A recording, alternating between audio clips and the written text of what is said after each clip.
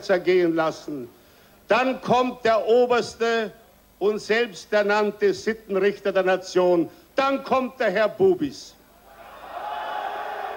Wir wollen nicht diesen Antisemitismus, aber wenn es in Deutschland einen Antisemitus gibt und er ist verdammenswert, dann ist der Herr Bubis mitschuldig, liebe Freunde.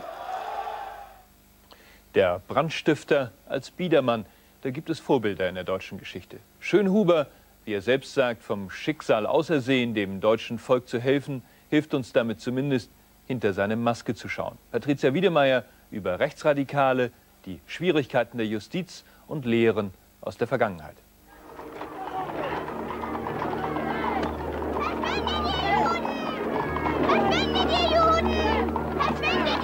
schimpfte er Ignaz Bubis, Zitat, ich werde keinen Zentimeter davon abgehen, Herrn Bubis als einen der schlimmsten Volksverhetzer Deutschlands zu bezeichnen. Zitat Ende.